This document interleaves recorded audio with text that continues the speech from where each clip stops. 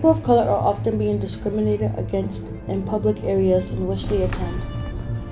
From workplaces to schools, people are often told to change the way they look because it may disturb the environment. Children, men, and women are told not to wear certain clothes or wear certain hairstyles because it may offend the people or disturb the environment of those who work or attend that school. However, this is a form of harassment by telling people that they can't dress the way they dress or wear the hairstyles they choose is unjust and unfair, not to mention it's against the law, yet it still continues to happen.